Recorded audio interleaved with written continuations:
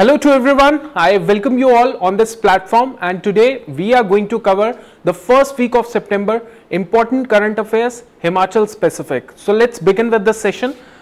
जो हमारा पहला इंपॉर्टेंट न्यूज है that is related to Indian Army so Indian Army की एक एक डिवीजन है that is strategic strikers division strategic strikers division of one crop इनके लेफ्टिनेंट कर्नल हैं जिनका नाम है श्रीपदा श्री राम तो इन्होंने बेसिकली एक एक रिकॉर्ड अचीव किया है that is fastest solo cycling record जिसमें इन्होंने लेह से शुरुआत की अपनी साइकिलिंग की और ये पहुँचे मनाली के अंदर, ठीक है? सो ये जो पूरा का पूरा ट्रैक था, इन्होंने पूरा अचीव किया है। लगभग चार सौ बहत्तर किलोमीटर 472 किलोमीटर्स का ये ट्रैक था, जिसको इन्होंने चौंतीस thirty four hours fifty four seconds के अंदर मिनट्स के अंदर इन्होंने कंप्लीट किया है। तो 34 आवर्स 54 मिनट्स के अंदर इन्होंने कंप्लीट किया है एंड अल्टीमेटली इन्होंने गिनीज का ये रिकॉर्ड बनाया है। नाम ज़रूर याद रखिएगा लेफ्टिनेंट कर्नल श्रीपदा श्रीराम जिन्होंने ले से शुरुआत की और मनाली तक ये पहुँचे और इसको भी फास्टेस्ट सोलो साइकिलिंग का जो टैग है मेन की कैटेगरी के अंदर इनको मिला है Guinness book of world record में। ठीक है तो ये प्रिलिम्स के लिए आपका एक आ, आ, सवाल बन सकता है। ठीक है नाउ नेक्स्ट इज़ हमारा जो हिमाचल प्रदेश है, उसमें रिसेंटली रिवैम्प किया है चेंज किए हैं, कुछ चेंजेस लेकर आए हैं in the evaluation system of school education right तो इसमें क्या है, Himachal Pradesh board of school education H P S H P B S C इसके हिसाब से देखा जाए तो इन्होंने डिसाइड किया they have decided to change the evaluation system of classes कौन सी क्लासेस हैं? क्लास थर्ड है क्लास फिफ्थ है क्लास एट्थ है क्लास नाइन्थ है टेंथ इलेवेंथ ट्वेल्थ तो इनका जो है रिटर्न uh, एग्जामिनेशन के बेसिस पे इनको जो है रैंक uh, uh, दिया जाता था बट अब जो है सोली होली जो रिटर्न एग्जामिनेशन है वो बेसिस नहीं होगा। इसके अंदर बहुत सारी ऐसी चीज़ें होंगी जो इसके बेसिस पे बच्चे को टेस्ट किया जाएगा। ठीक है? सो पहली चीज़ तो ये है कि 50 परसेंट जो होगा 50 परसेंट जो इवेल्युएशन होगा, वो दिया जाएगा। उसमें से 25 प्रतिशत जो है वो स्कूल देगा। तो 50 परसेंट मार्क्स में 25 percent school would give 25 percent marks on the basis of comprehensive academic evaluation comprehensive academic evaluation of the student and 25 percent जो होगा that would be based on the extra curricular activities के basis पे correct हो गया तो ये सारी classes है जिनका जो evaluation system है उसको change किया जा रहा है इसमें सिर्फ़ रिटर्न के बेसिस पे इवेल्युएट नहीं किया जाएगा उसके साथ और भी सारे पैरामीटर्स है जिनको इंक्लूड करके अब इवेल्युएशन होगा स्टूडेंट का ठीक है सो एक्स्ट्रा करिकुलर एक्टिविटीज़ के अंदर अगर देखें 25 परसेंट उसके लिए वेटेज है तो उसमें भी चार प्रतिशत जो है एटलीस्ट फोर परसेंट जो है marks these these would be given on the basis of performance of yoga and other sports तो कहीं ना कहीं योगा या स्पोर्ट्स स्पिरिट जो है, या स्पोर्ट्समैन स्पिरिट जो है, उसको प्रमोट किया जा रहा है। हेल्थ और फिटनेस इन दोनों को मद्देनज़र रखते हुए इवेल्युएशन के अंदर इनको भी वेटेज दी जा रही है।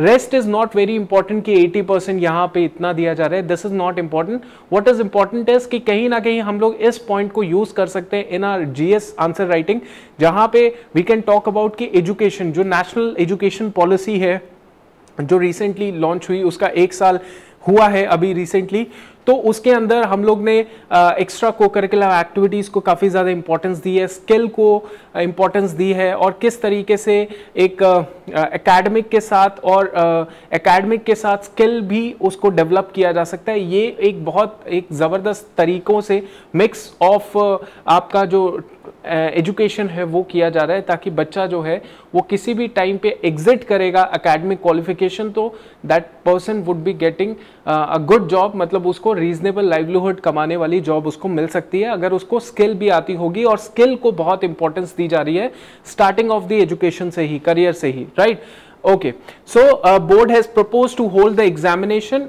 every six months instead of holding the annual examination मतलब सेमेस्टर वाइज सिस्टम जो है, यहाँ पे प्रपोज किया जा रहा है, ठीक है? चलो, इसके अलावा हम लोग बात करते हैं डेस्टिनेशन वेडिंग की। तो रिसेंटली क्या है? कि कोविड की वजह से बहुत ज़्यादा हिमाचल टूरिज़्म इफ़ेक्ट हुआ है, करोड़ों में नुकसान हुआ है। तो हिमाचल टूरिज़्म कॉरपोरेशन ने मतलब टूरिज़्म डेवलपमेंट कॉरपोरेशन ने they have decided they have decided that we are going to promote the destination wedding जहाँ पे क्या होगा कि बहुत सारी क्राउडेड सिटीज़ हैं सिटीज़ क्राउडेड है वहाँ पे लोगों ने अपने इवेंट्स करने हैं वेडिंग्स करनी है तो वहाँ से वो ऑप्ट कर सकते हैं वो जगह ऑप्ट नहीं आ, उसकी जगह जो है कोई और जगह ऑप्ट कर सकते हैं जो हिमाचल टूरिज़्म कॉरपोरेशन के जो बेस्ट होटल्स है जहाँ पे बहुत बढ़िया पीसफुलनेस और बहुत नेचर के साथ आप जो है रूबरू हो सकते हैं। उस इवेंट को अगर वहाँ पे ऑर्गेनाइज कराएँगे तो ये जो है to promote the destination wedding at its hotel located in the most idyllic location तो इससे क्या होगा? इससे जो एक कंज्यूमर है, उसको बेस्ट लोकेशन मिलेगी बेस्ट फैसिलिटीज़ मिलेगी और जो कॉपरेशन है, जो हिमाचल टूरिज़्म कॉरपोरेशन है, उसको भी कहीं ना कहीं प्रॉफिट होगा टूरिज़्म प्रमोट होगा, दोनों को बेनिफिट होगा इस पर्टिकुलर कॉन्सेप्ट को लॉन्च करके। ठीक है? सो आपको पता है कि कोविड की वजह से काफ़ी ज़्यादा दिक्कत हो रही है। सोशल डिस्टेंसिंग मेंटेन करके ये डेस्टिनेशन वेडिंग को प्रमोट किया जाएगा। इनके जो होटल्स हैं, वहाँ पे बहुत ज़बरदस्त जगहों पे इनके होटल्स हैं तो वहाँ पे ज़्यादा क्राउड नहीं है। बहुत पीसफुल तरीके से वो सारी चीज़ें अरेंज हो सकती है। ओके नाउ इसके अलावा they this facility would provide the complete package A से लेके जेड तक सब कुछ यहाँ पे पैकेजेस के अंदर मिल जाएँगे। अब देखिए, इसमें प्रॉपर्टीज़ जैसे पैलेस होटल है चैल के अंदर और बहुत सारे हैं, बरौग, फागू, नारकंडा, यहाँ पे ये वेडिंग्स को प्रमोट किया जाएगा डेस्टिनेशन वेडिंग्स को प्रमोट किया जाएगा। ठीक है कंटेक्स्ट इसका यही है, बहुत सिंपल तरीके से दैट आपको पता है कि हिमाचल को काफ़ी ज़्यादा, हिमाचल इस हिमाचल की इकॉनमी काफ़ी हद तक टूरिज़्म पे भी डिपेंडेंट है। तो टूरिज़्म कोविड के टाइम पे इतना ज़्यादा नहीं फ्लरिश हो पाया तो इसकी वजह से काफ़ी ज़्यादा लॉस हो चुका है। तो इस लॉस को थोड़ा सा कम करने के लिए टूरिज़्म को प्रमोट करने के लिए ये कॉन्सेप्ट को इंट्रोड्यूस किया जा रहा है। ठीक है, चलिए, अब नेक्स्ट हमारा आता है हिमाचल प्रदेश स्वर्ण स्वर्ण जयंती विद्यार्थी अनुशीलन योजना। तो ये जो योजना है, स्वर्ण जयंती विद्यार्थी अनुशीलन योजना, इसके इनोग्रेट किया गया रिसेंटली हिमाचल गवर्नमेंट के द्वारा। अब इसमें है क्या? एक्चुअली में क्या है कि जब हिमाचल एग्जिस्टेंस में आया था तो इसका जो लिटरेसी रेट था, वो बहुत ही कम था। ठीक है? It was around barely twelve percent ठीक है? बेयरली 12 परसेंट जो है लिटरेसी रेट था। लेकिन आज के टाइम पे बात करेंगे तो हिमाचल जो है एटी सिक्स परसेंट स्टैंड करता है हिमाचल का लिटरेसी रेट बहुत अच्छे टेबल पे जब भी रैंकिंग होती है literacy rate of the states की तो हिमाचल काफ़ी अच्छा उसमें रैंकिंग लेता है। तो 86 परसेंट इसकी परसेंटेज है लिटरेसी के अंदर। सो so ये इसीलिए हो पाया because of various schools colleges universities जो टाइम uh, टाइम पे बनते रहे और स्टूडेंट जो है उसको बेसिकली एक एजुकेशन मिलती रही वो डिप्राइव्ड फ्रॉम द एजुकेशन नहीं रह पाया।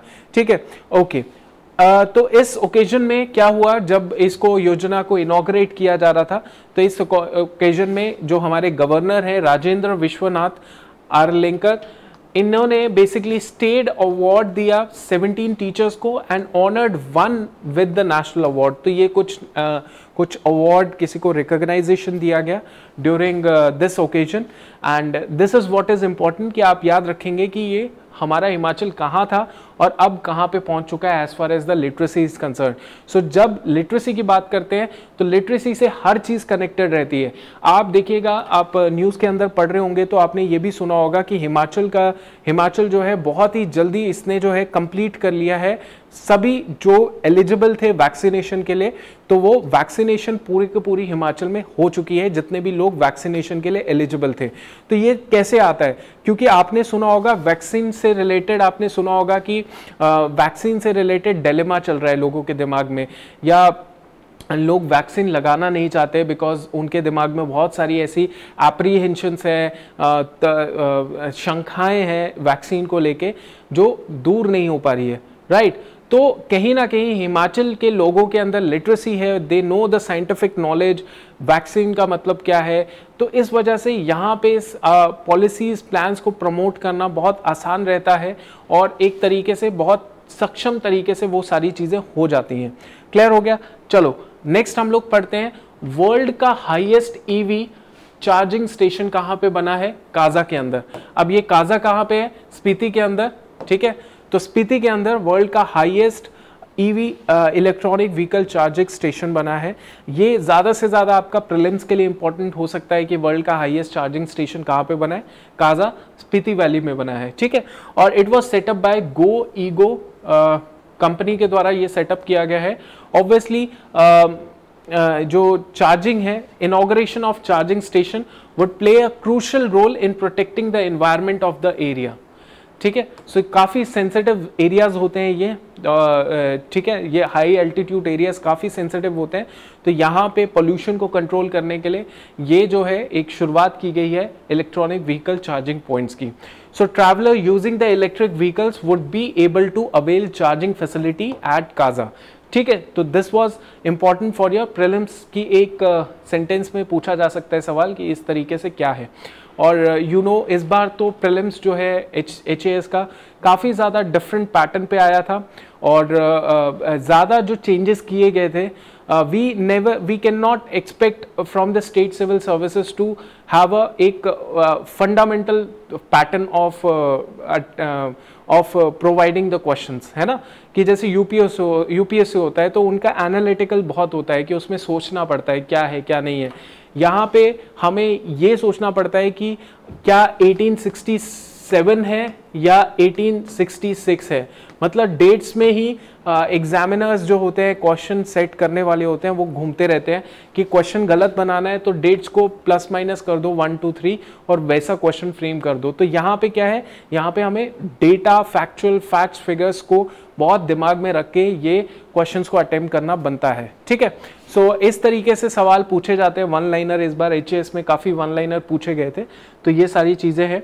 ठीक है? सो so, आज की क्लास इतनी ही थी। हमने कवर कर लिया अपना फ़र्स्ट वीक ऑफ़ सितंबर के Himachal current affairs and we'll be bringing another current affairs second week of Himachal current affairs ठीक है?